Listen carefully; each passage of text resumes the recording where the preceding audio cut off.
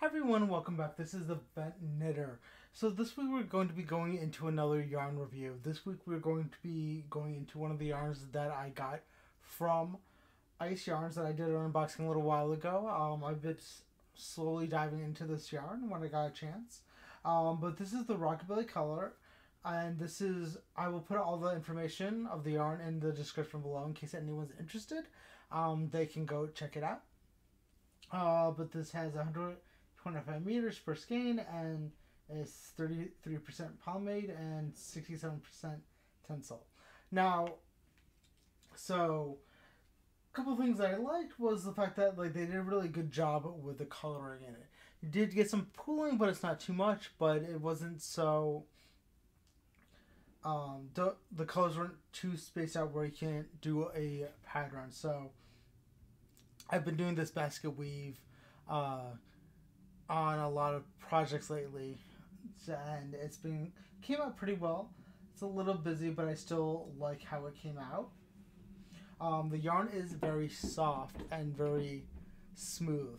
Uh, one of the cons of it is the fact that it is a very slippery yarn. So when I was knitting with it, it tended to slide around a lot, even though like I tend to use bamboo, which is less slippery but it's a very smooth, slippery kind of yarn, so it was a little bit hard to control while I was knitting.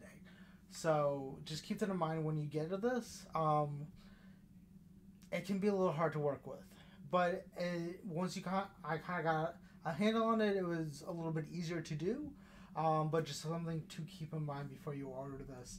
Um, when I did order this, if you remember, like they did come in like a multi pack, so I did get like nine of them, so it's a little bit easier to do bigger projects and order because they were fairly cheap.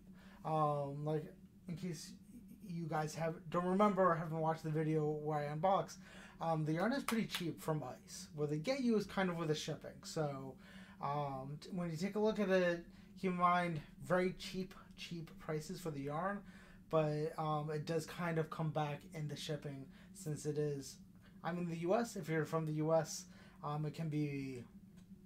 That's where it comes back, and it comes becomes a little bit pricier. I don't know about other places and other countries, but that's just my experience. It still wasn't hugely expensive. Um, it still was an acceptable price when all said and done, especially since I got like a bunch of yarn.